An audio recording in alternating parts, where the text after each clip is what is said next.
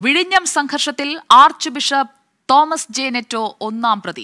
അൻപതിലധികം വൈദികരെ പ്രതിപ്പട്ടികയിൽ ചേർത്തു. കണ്ടാലറിയാവുന്ന ആയിരം പ്രദേശവാസികൾക്കെതിരെയും സ്വമേധയാ കേസെടുത്തു. പത്തു കേസുകളാണ് നേരത്തെ പോലീസ് രജിസ്റ്റർ ചെയ്തത്. തുറമുഖത്തിനെതിരെ സമരം ചെയ്യുന്നവർക്കെതിരെ ഒൻപത് കേസുകളും ജനകീയ സമിതിക്കെതിരെ ഒരു കേസുമാണ് എടുത്തത്. വധശ്രമം ഗൂഢാലോചന കുറ്റകരമായി സംഘം ചേരൽ തുടങ്ങിയവയാണ് വകുപ്പുകൾ. എഫ്ഐആറിന്റെ പകർപ്പ് ട്വന്റി ഫോറിന് ലഭിച്ചു. അതിനിടെ സമരം മൂലമുള്ള നഷ്ടം അതിരൂപതയിൽ നിന്ന് ഈടാക്കണമെന്ന് സർക്കാർ ഹൈക്കോടതിയെ അറിയിക്കുമെന്നുള്ള റിപ്പോർട്ടുകളും വരുന്നുണ്ട്. വിഴിഞ്ഞത്ത് സമരത്തിന്റെ പേരിൽ ബോധപൂർവം കലാപം സൃഷ്ടിക്കാൻ ശ്രമിക്കുന്നുവെന്ന് മന്ത്രി ആന്റണി രാജു ആരോപിച്ചു. തീരദേശത്തെ സംഘർഷ ഭൂമിയാക്കി മാറ്റാനുള്ള ശ്രമം ജനങ്ങൾ അംഗീകരിക്കില്ലെന്നും മന്ത്രി പറഞ്ഞു. ബോധപൂർവമായ ഒരു കലാപം ഉണ്ടാക്കാനുള്ള ഒരു ശ്രമം നടന്നു വരികയാണ്. അത് പോലീസിന്റെ ദൗർബല്യമായി ആരും കണക്കാക്കേണ്ട കാര്യമില്ല. സംഘർഷമുണ്ടാക്കി കലാപമുണ്ടാക്കി ഈ നാടിൽ നിലനിൽക്കുന്ന ശാന്തിയും സമാധാനവും തകർക്കാൻ ആരും ശ്രമിക്കരുത്. അതിനാരും ചട്ടുകമാകരുത്. ജനാധിപത്യ സംവിധാനത്തിൽ ഭരണകൂടവും കോടതികളും കൈക്കൊള്ളുന്ന തീരുമാനങ്ങളും ഉത്തരവുകളും ഒക്കെ പാലിക്കാൻ എല്ലാവർക്കും ബാധ്യതയുണ്ട്. കൂടുതൽ വിവരങ്ങൾ ഷഫീദ് റാവുത്തർ നൽകും. ഷഫീദ് റാവുത്തർ തോമസ് ജെ നെറ്റോ ആർച്ച് ബിഷപ്പിനെ തന്നെ ഒന്നാം പ്രതിയാക്കിക്കൊണ്ടുള്ള ഒരു എഫ്ഐആറിന്റെ പകർപ്പാണ് നമ്മളിപ്പോൾ കാണുന്നത്. സമരം മൂലമുള്ള നഷ്ടം നികത്താൻ അതിരൂപതയ്ക്കെതിരെ സർക്കാർ നീങ്ങുന്നു. പ്രദേശവാസികൾക്കെതിരെ അടക്കം അൻപതിലധികം വൈദികർ ഉൾപ്പെടുന്ന പ്രതിപ്പട്ടിക വിഴിഞ്ഞം സംഘർഷത്തിൽ നേർക്കുനേർ ഏറ്റുമുട്ടലിലേക്ക് ലത്തീൻ അതിരൂപതയും സർക്കാരും കടക്കുന്നു എന്ന് തന്നെയാണോ മനസ്സിലാക്കേണ്ടത്? സുജിയ അങ്ങനെ തന്നെയാണ് കാര്യങ്ങൾ പോകുന്നത്.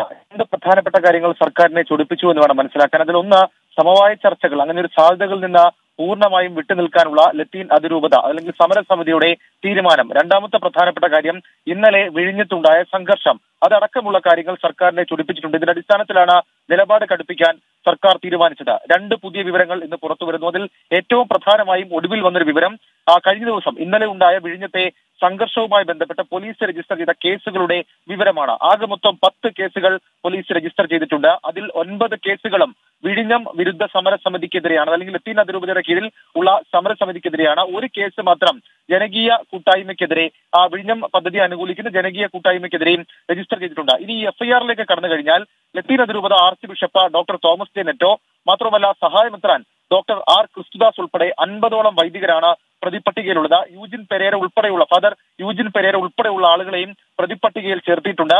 ആർച്ച് ബിഷപ്പും വൈദികരും ചേർന്ന് ഗൂഢാലോചന നടത്തിയെന്നാണ് എഫ്ഐആറിൽ പറയുന്ന പ്രധാനപ്പെട്ട കാര്യം എന്ന് പറയുന്നത്. പോലീസിന് ലഭിച്ച പരാതിക്ക് പുറമെ പോലീസ് സ്വമേധയായും കേസെടുത്തിട്ടുണ്ട്. എഫ്ഐആറിൽ ചൂണ്ടിക്കാണിക്കുന്ന കാര്യങ്ങൾ ഇങ്ങനെയാണ്. അതിൽ ഏറ്റവും പ്രധാനപ്പെട്ട ഒരു കാര്യമായി നമുക്ക് പറയാൻ കഴിയുന്നത്.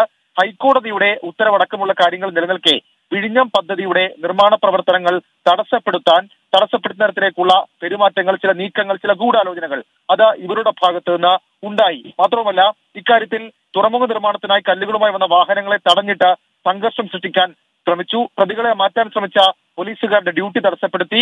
സമരക്കാർ സംഘടിച്ച് കല്ലുകളും വടികളും കൊണ്ട് പോലീസുകാരെയും സമീപ പ്രദേശത്തെ മറ്റു മതസ്ഥരുടെയും വീടുകളും തുറമുഖ നിർമ്മാണം അനുകൂലിച്ച് സമരം നടത്തി വന്നിരുന്ന ജനകീയ സമരസമിതിയുടെ പന്തലിനെതിരെയും കല്ലുകൾ വലിച്ചെറിഞ്ഞു. ജനകീയ സമരസമിതി വെച്ചിരുന്ന ഫ്ലക്സ് ബോർഡുകളും ബാനറുകളും നശിപ്പിച്ചു. കലാപാഹ്വാനം നടത്തി. കൂടാതെ കല്ലേറിൽ വഴിയാത്രക്കാർക്കും സമീപവാസികൾക്കും ഗുരുതര പരിക്ക് പറ്റി അക്രമ സംഭവങ്ങളിൽ കെ പി അഞ്ചാം ബറ്റാലിയനിലെ പോലീസ് കോൺസ്റ്റബിളിനെ കൈക്ക് ഗുരുതരമായി പരിക്ക് പറ്റിയിട്ടുണ്ട്. ഇതിന്റെ അടിസ്ഥാനത്തിലാണ് ഇക്കാര്യത്തിൽ ഗൂഢാലോചന അന്യായമായി സംഘം ചേരൽ കലാപാഹ്വാനം അടക്കമുള്ള കാര്യങ്ങൾക്ക് കാര്യങ്ങൾക്കുള്ള വകുപ്പുകൾ ചുമത്തിക്കൊണ്ട് ഇപ്പോൾ പോലീസ് ഇങ്ങനെ ഒരു എഫ്ഐആർ രജിസ്റ്റർ ചെയ്തിരിക്കുന്നത്. ഇന്ന് രാവിലെ ഇതുമായി ബന്ധപ്പെട്ട് പുറത്തു വന്ന മറ്റൊരു പ്രധാനപ്പെട്ട വാർത്ത എന്ന് പറയുന്നത് ഈ വിഴിഞ്ഞം സമരം മൂലം തുറമുഖ പദ്ധതിക്കുണ്ടായ നഷ്ടം. അത് ലത്തീൻ അതിരൂപതയിൽ നിന്നും ഈടാക്കാൻ സർക്കാർ തീരുമാനിച്ചിരിക്കുന്നത് മുഖ്യമന്ത്രി അനുമതി നൽകിയിരിക്കുന്നത് നാളെ ഹൈക്കോടതിയിൽ സർക്കാർ അറിയിക്കുകയും ചെയ്യും നേരത്തെ വിസിൽ ബന്ധപ്പെട്ട ബന്ധപ്പെട്ട് സർക്കാരിനെ സമീപിച്ചിരുന്നു. പ്രതിദിനം ഉണ്ടാകുന്ന കോടിക്കണക്കിന് രൂപയുടെ നഷ്ടം. അത് സമരസമിതിയുടെ ഭാഗത്തുനിന്ന് തീർപ്പാക്കണം. അവർ അവർ അവരിൽ നിന്ന് ഈടാക്കണം എന്നുള്ളതായിരുന്നു ഇവരുടെ ആവശ്യം. ഇന്ന് ഒരു പടി കൂടി കടന്ന മന്ത്രി ആന്റണി രാജുവും നിലപാട് വ്യക്തമാക്കിയിട്ടുണ്ട്. ഇന്ന് മന്ത്രി ആന്റണി രാജു മാധ്യമങ്ങളെ കണ്ടപ്പോൾ പ്രധാനമായും പറഞ്ഞ കാര്യങ്ങൾ സർക്കാർ കൃത്യമായി വിഷയത്തിൽ ഇടപെടുന്നുണ്ട്. സർക്കാരും പോലീസും ആത്മസംയമനം പാലിച്ചു. മുഖ്യമന്ത്രി ഉൾപ്പെടെ ചർച്ച നടത്തി സർക്കാരിനെ കൊണ്ട് ചെയ്യാൻ സാധിക്കുന്നതെല്ലാം ചെയ്തു. യാഥാർത്ഥ്യബോധത്തോടെ പെരുമാറണം എന്നുള്ള മുന്നറിയിപ്പ് ആന്റണി രാജു നൽകുന്നുണ്ട് സുജയ. ഓക്കെ വൈദികർക്കെതിരെയുള്ള കേസിൽ ഫാദർ യൂജിൻ പെരേരയുടെ പ്രതികരണം വരുമ്പോൾ നമുക്ക് അതിലേക്ക് വീണ്ടും എത്താം. ഷഫീദ് റാവുത്തറാണ് ഇതുവരെ ലഭ്യമായ കാര്യങ്ങൾ പ്രേക്ഷകരിലേക്ക് എത്തിച്ചത്.